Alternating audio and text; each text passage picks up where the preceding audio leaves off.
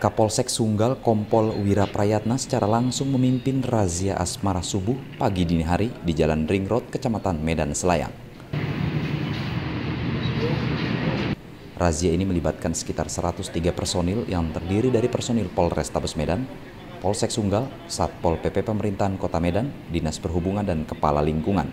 Sebelum razia, Kompol Wira pimpin apel kesiapan tim pemantau asmara di Petronas Jalan Gagak Hitam. Kapolsek dalam hal ini membagi dua tim, yakni tim satu yang melaksanakan kegiatan patroli dengan rute Jalan Ring Road, Jalan Ngumban Surbakti, dan Jalan Gagak Hitam. Sedangkan tim dua melaksanakan razia kelengkapan dokumen di Jalan Ring Road. Hasilnya, tim pemantau asmara subuh berhasil mengamankan sebanyak 12 unit sepeda motor dengan perincian 10 unit sepeda motor tanpa kelengkapan dokumen serta dua set tilang surat izin mengemudi. Setelah selesai melaksanakan razia, selanjutnya para personil Polsek Sunggal membawa barang bukti sepeda motor ke Mako Polsek Sunggal.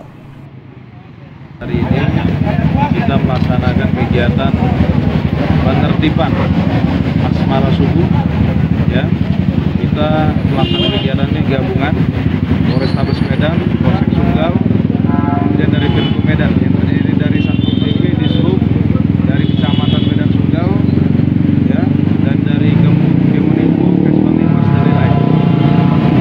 Hasil kegiatan ini dilakukan yang pertama kegiatan razia dengan sasaran R2, R4 yang membawa narkoba, sajam, dan juga sasarannya yang tidak memiliki surat-surat. Kemudian kegiatan yang kedua kita melaksanakan patroli di sepanjang ring road, pasar 1, pasar 3, Kembar Surbakti sampai dengan Manhattan.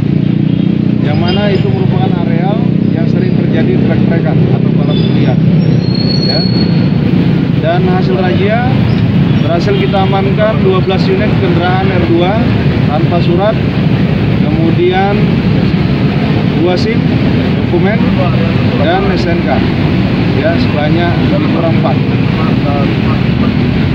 Kami dari Polrestabes Medan, dari Pemko Medan, mengimbau masyarakat agar tertib berlalu lintas, lengkapi kendaraan bila berkendara, dan hindari kejahatan. Ya, ini bulan baik, bulan Ramadan, banyak amal. Semoga kita selalu di dalam lindungan Allah Subhanahu Wa Taala.